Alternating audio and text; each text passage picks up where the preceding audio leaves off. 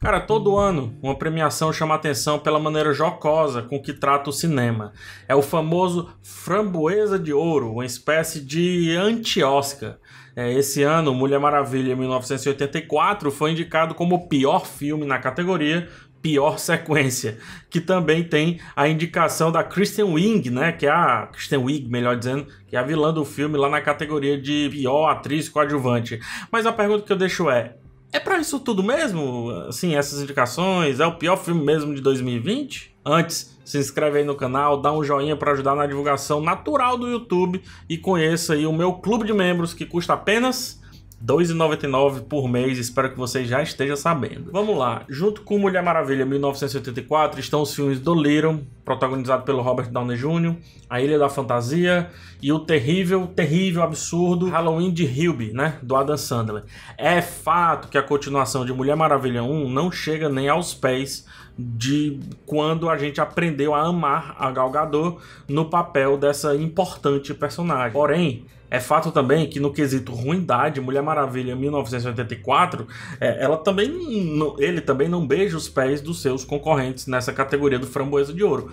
O que acontece aqui, na verdade, é que o prêmio sempre busca promover-se ao trazer para a lista de indicados filmes famosos, filmes de renome, algo que vai gerar alguma espécie de repercussão, uma repercussão gratuita e que vai garantir a constante piada que é o Framboesa de Ouro. Não vejo como demérito ser indicado a esse prêmio. Pelo contrário, grandes atores e atrizes já ganharam o Framboesa de Ouro e alguns foram até buscar o prêmio, coisa que, ao entrar na piada, concede muito carisma ao indicado e meio que um fim de uma perseguição do Framboesa de Ouro a esses nomes. Sandra Bullock foi um exemplo disso.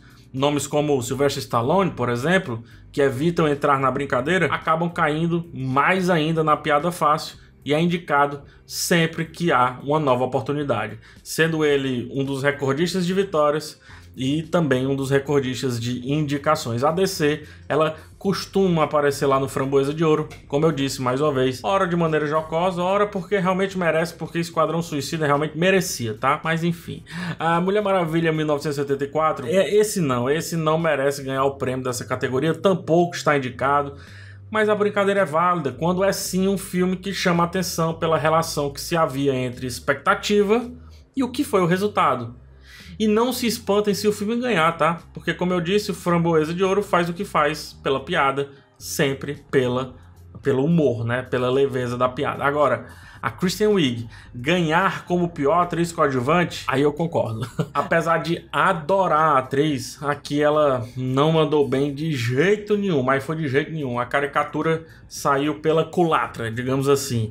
E como boa comediante que é, tomara que ela embarque na proposta do circo e se divirta com isso, né? Outra coisa chama atenção nas indicações desse ano do Framboesa de Ouro, caso seja indicada ao Oscar, na verdade na altura desse vídeo já foi indicada ao Oscar pelo trabalho dela em Era uma Vez um Sonho. A atriz Glenn Close vai aparecer, no caso já apareceu, está confirmado, no prêmio tanto dos melhores quanto no prêmio dos piores.